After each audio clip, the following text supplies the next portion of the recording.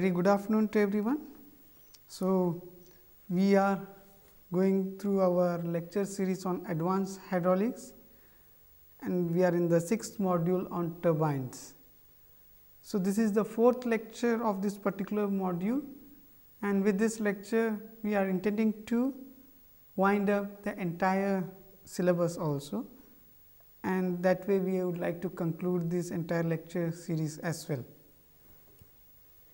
If you recall, in the last class we had especially discussed on pumps. So, pumps we applied the angular momentum equation to the centrifugal pump impeller. We also obtained the Euler turbine equations then we worked on a sample problem using those same equations and all we demonstrated that how it can be applied for the actual conditions with that example. How the effect of blade or the blade angle can cause change in head that was briefly suggested. We just briefly covered what is meant by axial flow pumps, what is meant by mixed flow pumps, then in the positive displacement pumps, we suggested reciprocating pumps where you use pistons, you have rotary pumps, right. So, today we will start about discussion about turbines as well as just briefly we will cover on cavitation. Turbines, what do you mean by turbines? So, turbines it extract energy from the fluid and they supply it to other sources right that is how we studied the entire turbine it is having function opposite to pump pump from the external source you take energy and supply it to fluid whereas in turbine you take energy from the fluid and supply it to some other source some other objects and all. Uh, most common form of turbine is means you where uh, mostly you might have heard about turbines used in extracting energy from water having hydro hydraulic head and convert it to electric energy. Most of the hydropower projects work on this particular principle that is using the high hydraulic head of water they will run the turbines that will subsequently run the generators from which you can get electrical energy and all. We will be approaching the turbines with the same concept. Throughout our course, we have used the Reynolds transport theorem control volume approach. Same thing you can utilize here. Okay, we may not go for extensive demonstration of that control volume approach in turbines, but still I am suggesting that you can easily derive the thing. Already for the motor we have seen it for a centrifugal pump impeller blade inlet and outlet. If you consider it the control using the control volume approach, a similar phenomenon one can use for turbines also. So, turbines just we have given some arbitrary figure and all. The turbines consist there are mainly two types of turbines reaction turbines and impulse turbines. Okay. What is meant by reaction turbine? Reaction turbine the water fills in the blade passages subsequent which will cause pressure drop or head change within the impeller that is as the water fills means water is entirely filled in the blade passages. Then it drops its pressure or it causes change in head in the impeller itself and it is transmitted right. So, these are reaction turbine. We will see a fundamental equation on related to this thing or fundamental expression from which we can decide which is which is reaction turbine, which is impulse turbine and all. Impulse turbine in the meaning of impulse turbine is water passes through a nozzle to form high speed jet which strikes the blade as they pass through you can have various types of impulse uh, turbines and all, but the meaning is that suppose if you have these blades like this high speed jet just hit it. Now, what happens? A high speed jet when it hits it will rotate right this wheel starts rotating. Similarly, it hits like that continuously and it goes on rotating and if this wheel is mounted on an impeller that impeller can run further some machines and all means it is connected you can generate some energy or that is it is used for rotating some device right that is the objective here. So, impulse turbine water passes through a nozzle. So, whatever be it is high speed jet is being transmitted here. So, let us talk about reaction turbines first. So, as we mentioned reaction turbines they are used for low head and high flow devices. Reaction turbines are usually used in low head or high flow device. If you look into the previous portion, here in this particular figure, the objective of turbine is clearly mentioned. If you have a sufficient head that is given into the system as input and from the output you have certain head, the system gives certain energy head to some generator or a simple illustration of the thing. So, the same thing almost all of the quantities need to cover. So, you uh, reaction turbines usually are used for low head cases and very high flow devices. Uh, usually reaction turbines they are opposite to the dynamic pumps. Whatever function is there it is exactly opposite to that in dynamic pump centrifugal pump if you recall that water enters through a small passage then it flows radially outwards right. The reverse is happening here. Water enters through a large diameter section then it converges to a small eye or small outlet. When discharges through a small section after giving most of its energy to the impeller. There are reaction turbines of following form. That is radial flow turbines are there, mixed flow turbines are there, axial flow turbines are also available. So, they are all dynamic devices. When you try to understand about turbines, we suggested that turbines mainly it consists of reaction turbines and impulse turbines. So, the degree of reaction of a turbine it is a very important quantity.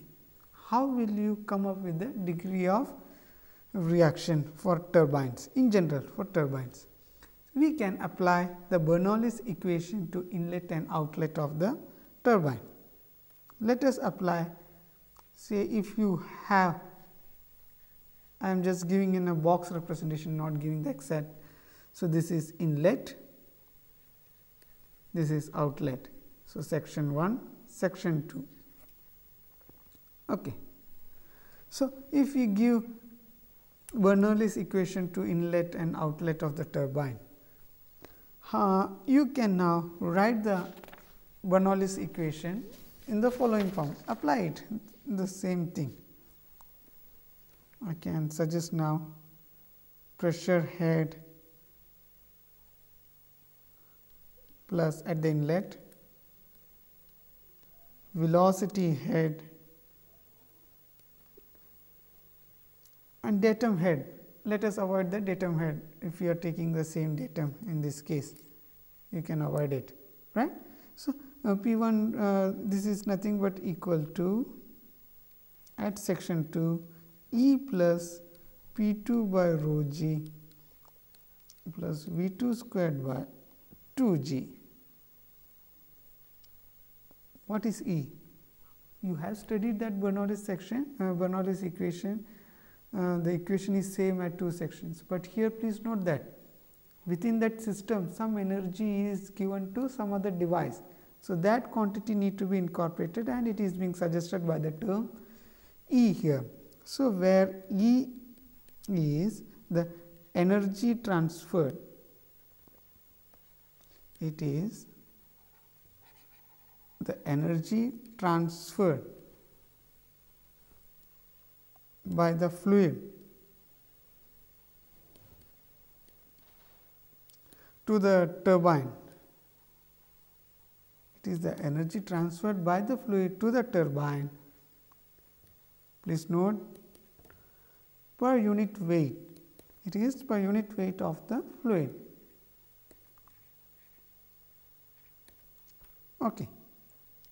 So, you can get the expression of E from the above equation. E is nothing but now P 1 minus P 2 by rho g plus V 1 squared minus V 2 squared by 2 g.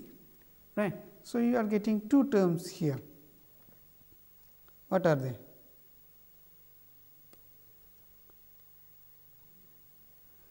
What is the this particular term?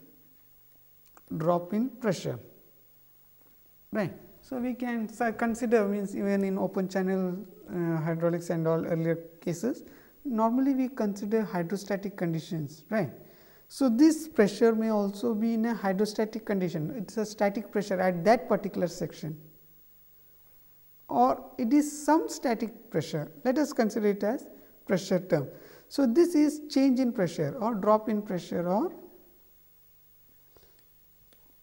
change in pressure. Okay. So, this is change in pressure quantity and this particular quantity is drop in velocity head.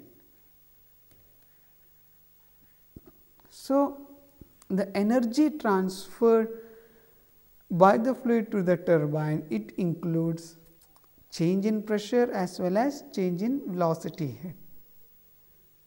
These two conditions if you can now in uh, um, keep in mind that based on these two phenomena that is change in pressure and change in velocity, one can infer whether a turbine is working on the basis of reaction uh, formula or whether it is working on the basis of impulsive techniques. So, we will suggest now.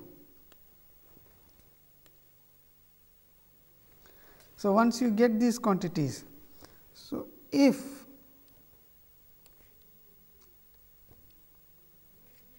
the pressure is constant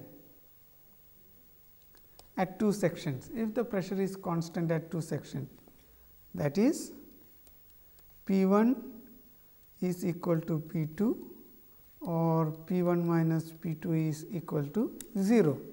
Then what happens? Your energy transferred to the turbine by the liquid. This is nothing but V 1 squared minus V 2 squared by 2 g. So, if your turbine, if your turbine has conditions where the pressure at both inlet and outlet are same, then that turbine here the energy is transferred purely on basis of the change in velocity. So, such turbines are purely impulsive in nature.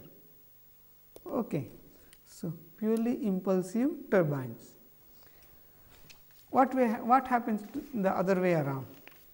If V 1 is equal to V 2, if there is no change in velocity of liquid that much, that in that case your E is nothing but equal to P 1 minus P 2 by rho g.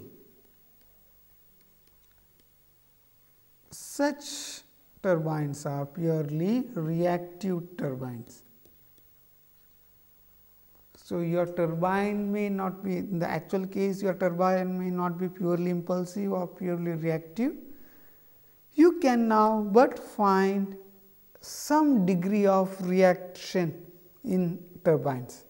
Based on that, suppose if the degree of reaction is quite high, you can suggest that it comes under the category of reaction turbines. If the degree of reaction if it is very less it can come under the category of impulse turbines. So, mostly most of the turbines in these cases in which are in the practical cases they will change pressure head and velocity head to a certain extent. So, it is not that the velocity head will be totally neglected only the change in pressure is being in, it, it cannot happen like that. So, there will be some minor changes one may be more significant the other may be less significant. So, based on those phenomena degree of reaction can also a terminology called degree of reaction can also be incorporated. So, I can suggest degree of reaction. So, the degree of reaction it can be given as R this is nothing but del P by total energy transfer.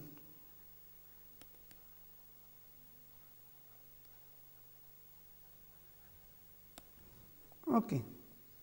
So, if you will see that it comes to be about del p is nothing but p 1 minus p 2. Okay. So, this comes to be about roughly around v 1 squared minus v 2 squared by 2 g. Like that one can evaluate the degree of reaction. Next which we like to deal is Francis turbine. What is meant by Francis turbine? So, Francis turbine it is a type of reaction turbine. Now, you are quite aware what is meant by reaction turbine right. So, reaction turbines are the turbines that changes pressure means the pressure is significantly changed from inlet to outlet and based on that change in pressure energy is delivered to the device. So, there is drop in pressure. The diagrammatic illustration just we have given it briefly. So, it is a turbine, uh, it will consist of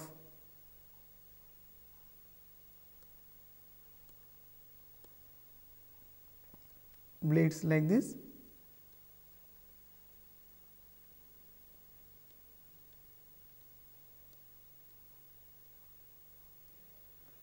So, there may be a inner circle also can be suggested actually it consists of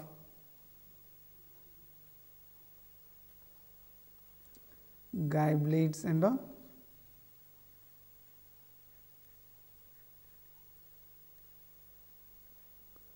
Okay. Something it looks like this. So, in this case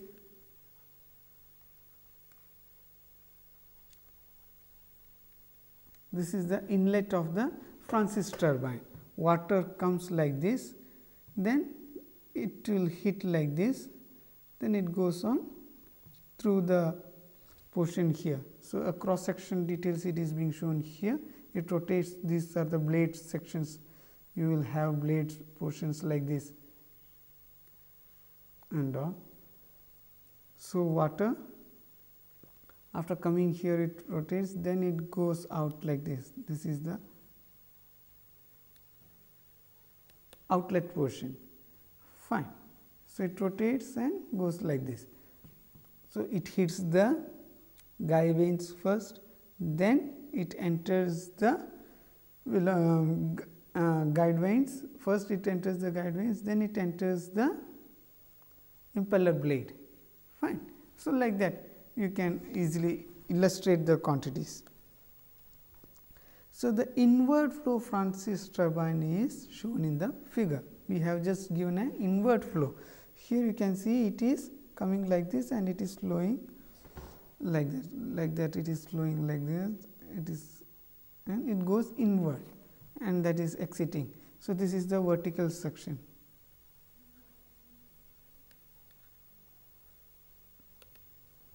fine. So, it is the cut section like this if you give. The flow is occurring radially inwards to the draft tube.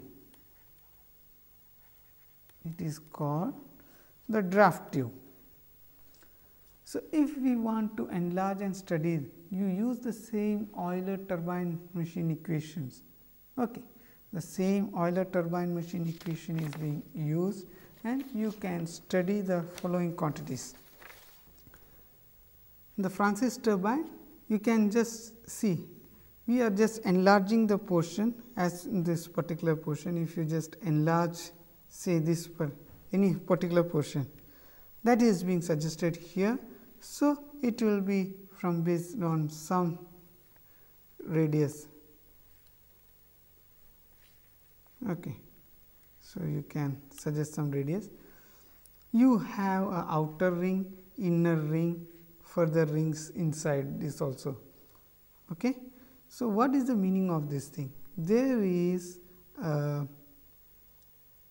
another ring like this where guide vanes are provided. Guide vanes are nothing but that allow we suggested water will be coming from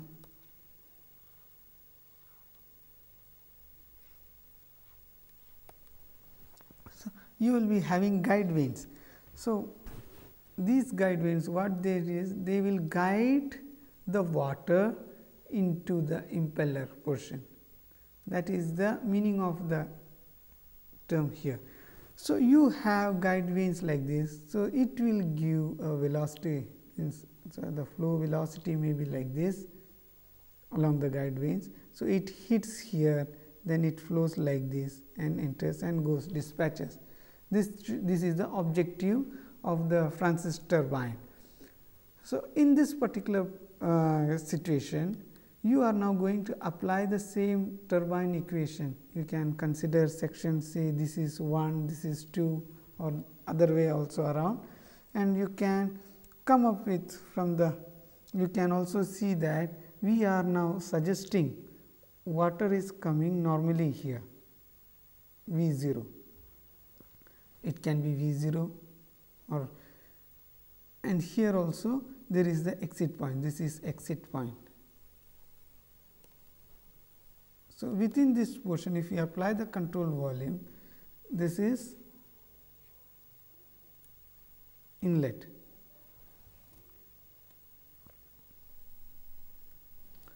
So, you have the control volume around this portion. Okay, that marked portion. So, you can just recall the pump mechanism same theory we are going to apply I am now repeating it here. So, the consider the small runner guide section having vanes, blades etc. So, what we are just uh, trying to do is now we I will be just suggesting power extracted by the runner So, you have the means here a runner is there right. So, that power extracted by the runner through the flow of liquid or say this is the runner this is or you can suggest this also. So, you know, power extracted by the runner this is P can be given as omega into torque rho q we are using the turbine equation u 2 v t u 1 v t 1 right. In this case u v t 2 and v t 1 they are not 0 in this particular situation. So, that you need to incorporate it. You can also see that subsequently head v 1 squared by 2 g plus h 1 plus H L where H 1 you can suggest it as pressure head between two sections. At the outlet section E plus V 2 squared by 2 G plus H L. Now, in this case we are assuming H 2 approximately equal to 0 that is in the outlet section the pressure rate is almost nominal like that we are E is the energy transferred by the fluid to the runner. Okay. So, one can easily identify efficiency eta this is P w by rho g q h here right. So, why h in pumps we use the term delta h that is change in head here we are using h we are suggesting it as the total head available at turbine inlet that is the meaning here. So, eta is equal to P w by rho g q how, based on the total head available at the inlet how much quantity you can efficiently use it that is the meaning here.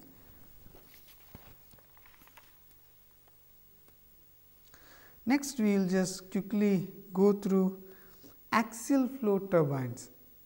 So, if the head provided is very small if the head provided is very small, then it is difficult to use impulse turbines and all. It will be quite difficult. The Francis turbines, the guide vanes are arranged in such a way that there exists certain axial flow. Your machine can give improved performance. So, as suggested here rather than having radial flow inwards, if there is certain axial flow in the along the blades and all like this axial flow if it can be allowed such machines usually gives improved performance. One of the well known axial turbine is Kaplan turbine it has an efficiency between 90 to 93 percentage okay so, rather than having inward flow, if axial flow is allowed, that will give you a better, not in all aspects. Okay. Next quantity is the impulse turbine. So, what is meant by impulse turbine? So, the total head available in the system it is first converted into kinetic energy. You now recall that impulse turbines means it works on the basis of change in velocity head that is you are changing the kinetic energy quantity here. So, a high speed jet strikes the vanes attached to the impeller wheel. So, this is the impeller wheel or rotating wheel on the vanes are suggested high speed jet like that it impacts on it. The rate of change of the angular momentum a change in rate of angular, uh, angular momentum will be caused due to the high speed impact right due to this high speed impact there will be change in angular momentum. So, that particular feature that is that change in angular momentum causes work on the impeller here. So, it is obvious that the velocity at the exit as we have seen here water comes then it goes through the uh, exit portion draft tube portion. So, in that case the velocity at the exit will be much much less than what is coming with a high speed form right. So, that uh, one particular type of impeller um, sorry impulsive turbine is Pelton wheel turbine. So, the Pelton wheel turbines they are impulse turbines the vanes usually are of bucket shapes you provide bucket shape like this. So, the vanes are of bucket shapes the total head available at nozzle usually equals the gross head minus the losses that are provided. So, usually the total head at the nozzle is you can easily evaluate the nozzle in basic fluid mechanics and all flow through nozzle and all one might have studied. You can use that relationship and suggest the quantities here. Say in this particular situation for the high speed jet. The high speed jet velocity v we can give this as some coefficient C v into root 2 g h. C v is the velocity coefficient, h is the energy head or hydraulic head at that location. C v approximately is 0.97 to 0.99.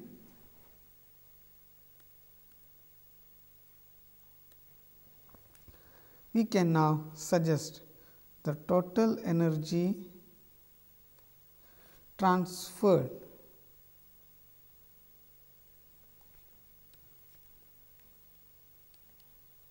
the total energy transferred to the wheel this can be given as E is equal to u by g v minus u 1 minus k cos theta. One can easily arrive at this using the Euler turbine equation and the Bernoulli's equation, you can easily arrive at this thing. So, the energy transferred to the wheel, this is given as where u is the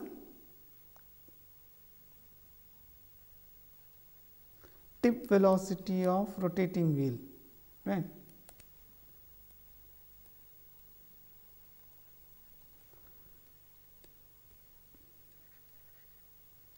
velocity of jet. So, we are suggesting in this particular case the jet is heating at least continuously some or the other vanes or buckets fine in this Pelton wheel the, it is heating continuously that is uh, a particular jet is coming and impacting here. As soon as it gets displayed the other bucket comes into that location. Like that it is hitting continuously and this is rotating like this. Subsequently it is rotating like this. So, uh, the velocity of the high speed jet let us suggest k a relative velocity reduction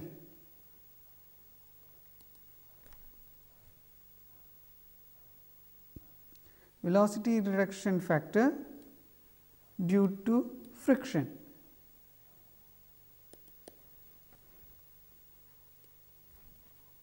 Theta the angle difference between vane velocity and water velocity that is you just note it down.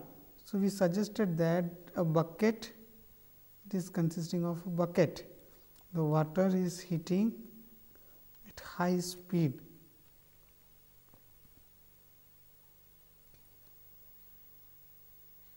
it is heating at high speed like this. So, it will deflect like this and it will deflect like this right as we have studied for the vanes if you recall that. So, this is the velocity here. So, this is v here velocity v here now and but the velocity of vane is like this u. So, if you see here u like will be like this, v will be like this. So, this angle difference this is theta. So, that theta is being taken into account in that particular total energy transfer formula. Like that you can easily suggest the energy that is being trans, uh, suggested uh, transferred to the impeller. You can also now suggest efficiency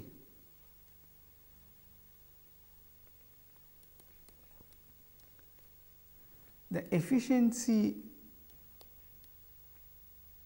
of Pelton this is nothing but 1 minus k cos theta by 2. Also just look into this particular equation u by g v minus u 1 minus k cos theta. In this particular equation what happens if your vane velocity is same as the impact jet velocity, what happens? There will be no transfer of energy, because this quantity gets it will become 0 and therefore, so there is the simple principle here. If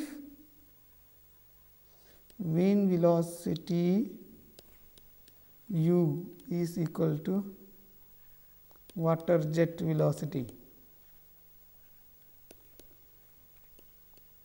then energy transferred is equal to 0. Similarly, if the vanes are stationary, the vanes are stationary, then also E is equal to 0, because u becomes 0 and therefore, E is equal to 0. So, you cannot transfer energy when the vanes are stationary or if the vane velocity is same as the uh, jet velocity.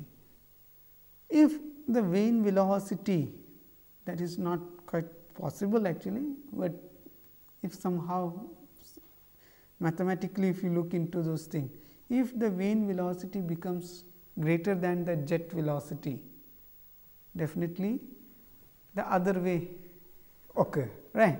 That is the turbine will supply energy to the fluid. Such condition may arise in that situation. That is as per the equation, because minus it will become minus E. So, that uh, condition should not arise, we have to design it in that, that particular way. The efficiency of Pelton wheel can also be suggested eta, if I just draw it like this eta versus u by v. So, it will come something of like this curve and all and this is something around 0.45 something around like this.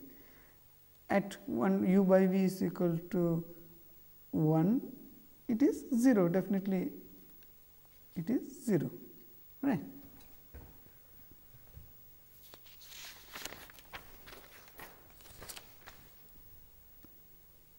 Next we just briefly would like to discuss is on cavitation. What is meant by cavitation? So, as the water flows in turbo machine, there can be change in pressure. So, if the water pressure is reduced in to such an extent that is if it is reduced that the pressure becomes almost equal to the vapor pressure, what happens? If the water pressure becomes almost equal to the vapor pressure. In that region water, water starts getting boiled or it becomes vapor. So, the liquid portion becomes absent in that situations. So, vapor pockets will be developed in the turbo machine. So, these vapor po pockets will also move along with the fluid or water. When they reach the locations of high pressure, these vapor pockets now collapse. It will just hit at a high intensity to the solid surfaces or the blades, impeller blades and all. This particular process is called cavitation. Right. The existence of some microscopic gas nuclei, they are usually regarded as cause of the formation of bubbles and its subsequent collapse and all. This is some of the theories which we would not like to further venture into that.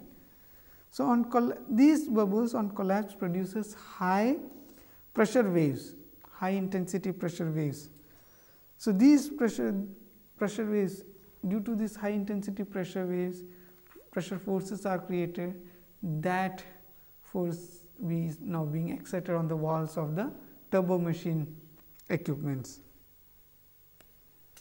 So, the it can cause damage to the turbo machine parts also which and also it creates huge noise when it is being rotated. So, uh, in a flowing system if the liquids change velocity and pressure we suggested that there will be fall in pressure that can cause cavitation a useful parameter which we, we can suggest is cavitation coefficient sigma. The cavitation coefficient sigma is nothing but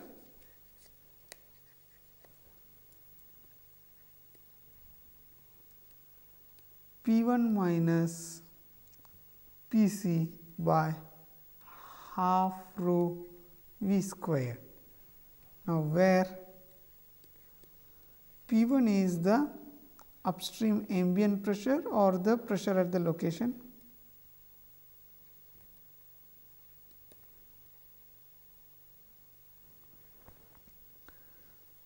P c is the vapor pressure.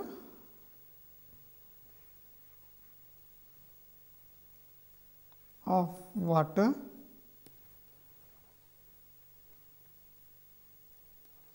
rho is density, V is the undisturbed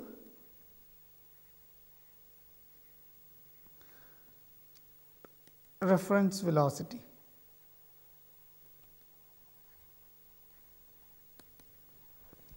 So, you have these following quantities that is uh, in this particular cavitation coefficient. From this case you can see that once the pressure gets lower means when the pressure starts falling and it reaches P c or the vapor pressure the water starts getting boil or it starts becoming vapor, uh, then these things collapse and causes cavitation and all. So, the cav cavitation coefficient will be able to easily identify how much cavitation means how much uh, cavitation can occur there is there are chances and all it can be inferred from there. We can just suggest another quantity called cavitation index as well on this parameter. So, cavitation index it is very useful in turbo machinery what we suggest is the minimum pressure usually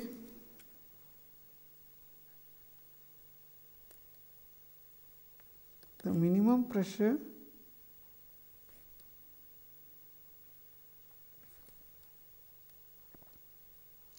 usually occurs along the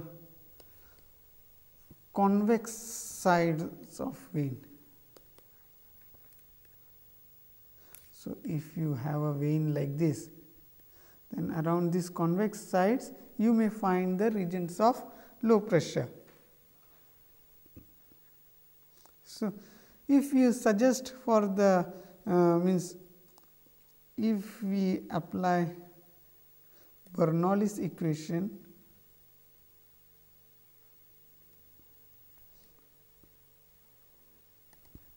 say at a region where the cavitation is about to or the where the water is about to become vapor at that at that location if we apply and subsequently downstream of that location also if we apply we can now suggest p by rho g plus v squared by 2 g plus z. At that location where vaporization is about to begin and at the downstream you can now see that there will not be any velocity head because liquid in the liquid form we are not assuming it to be existing there and some losses. Okay, at the downstream. So, this Bernoulli's equation can be used for identifying the cavitation index. So, with that uh, with that we have given a brief view on the turbo machine aspects also. So, as we mentioned turbo machine earlier also turbo machine is not the main topic in this particular course. So, this particular course was on advanced hydraulics. So, in this particular course on advanced hydraulics, we have seen different modules that is 6 modules we, uh, we have gone through them. We had first introduced to you on the module 1.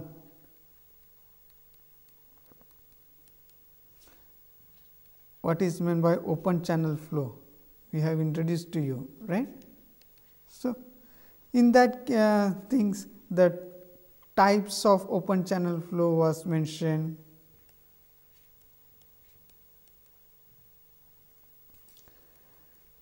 The channel geometry was also suggested. You can have if you recall that rectangular channel, trapezoidal channel, triangular channel, different cross sectional channels are there. Types of flow means also was also briefly suggested to you. Then the velocity distribution was also covered. How to find the average velocity at a cross section that was also told uh, mentioned uh, what happens for a wide river or for a narrow river, how the velocity is being computed, momentum, the quantity, momentum, velocity distribution, momentum, the terminology called specific force, this was also discussed, right. So, these things were covered in module 1. Subsequently, we went into module 2. So, the module 2 was titled as uniform flow.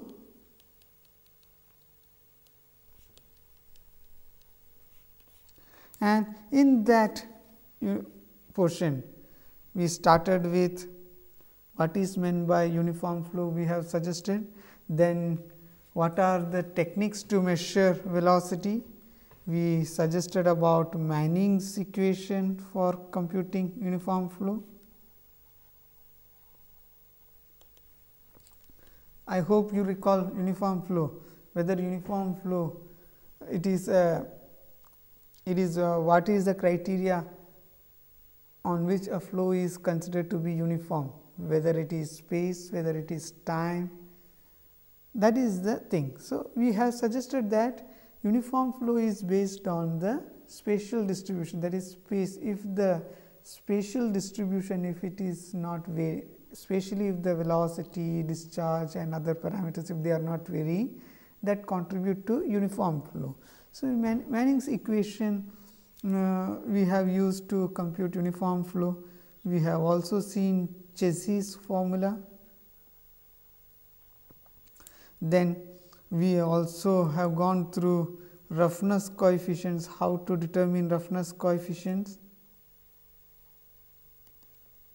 Then we also suggested about normal depth for uniform flow whatever depth is there it is called normal depth. So, that quantity was also suggested and normal depth we have to use it subsequently in many other portions also. Uh, velocity of uniform flow, then most economical sections was also covered.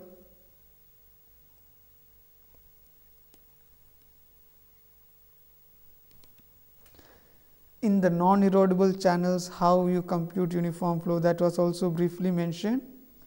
Then after dealing with these things, we also suggested about section factors, other uh, parameters and all in this particular module also. After that, we came into the biggest module means uh, of this course that was varied flow. So, we took some 10 to 12 lectures in this particular model module I think. So, in that varied flow we have seen gradually varied flow, the dynamic equations for dynamic equations for gradually varied flow. Also we have seen what are the assumptions involved for gradually varied flow, classification of classification of gradually varied flow. We also suggested classification of gradually varied flow, the uh, how the profile gradually varied flow profiles See if you recall M 1, S 1 like that we were telling that curves means this is S 1 profile, M 1 profile and all. What is meant by that? All those things we had discussed in detail. We also have seen how to compute drawdown curves and backwater curves right.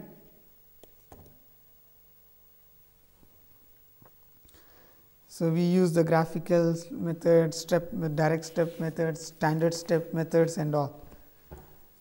We also use some numerical methods.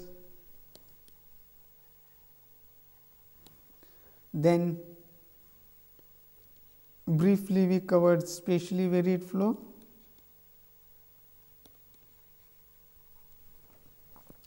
We also suggested about the in the next module we came up with a type of module 4 was hydraulic jump, a type of varied flow where it is rapid. So, hydraulic jumps was the module name we gave or in more uh, it could have been more general suggesting rapidly varied flow like that, but we concentrated more on the hydraulic jumps portion and the what is meant by hydraulic jump, what are the basic characteristics, all these things were dealt at that time right? Characteristics of jumps. Then location. So it is a type of rapidly varied flow if you recall them something like this means we were having jump uh, profiles in this form right so then uh, you also discussed on surges Then we also suggested jumps as energy dissipators. You can dissipate energy using jumps. Subsequently, we came into the, our fifth module. Fifth module, we suggested about flow through non-prismatic channels flow through non-prismatic channels.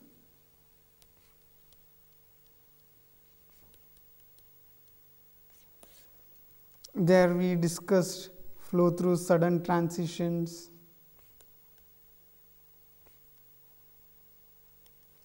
then we discussed on sub, uh, uh, flow through culverts, bridge piers,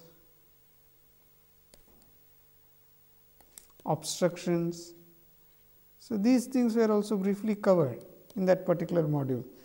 Then finally, in the sixth module, we started discussing on turbines. So, we have seen how the momentum principle is quite significant, so quite significantly used. Momentum principles are quite significantly used. Then impact of jets on plane means impact of jets on vanes. This was discussed. Then we discussed the types of turbines, types of pumps, how what is meant by positive displacement pump, dynamic pump, what is meant by uh, in the turbines, what is meant by reactive turbines and impulsive turbines, all those things we have discussed. I hope by covering these uh, portions in a brief way, it should have benefit means it should be a beneficial thing for you. You might have got some insight into the subject as well as some or you might I hope that you are encouraged to further pursue knowledge on these subjects and all. Definitely whatever is covered in this particular course that is not it is not the entire portion you cannot cover in 40 lectures the entire portions of these particular subjects and all. What we intended was we would just briefly cover some of the basic things or some of the concepts from which you would like each you will pick it from that from that location you will venture into that subject either go into the field study or you will go you will deliver means you will go for higher studies or research do more work and come up with productive results and all. That is, that is the objective of this particular lecture series. I hope it will uh, it will be beneficial for you or at least it should be an encouraging aspect to you. Thank you very much.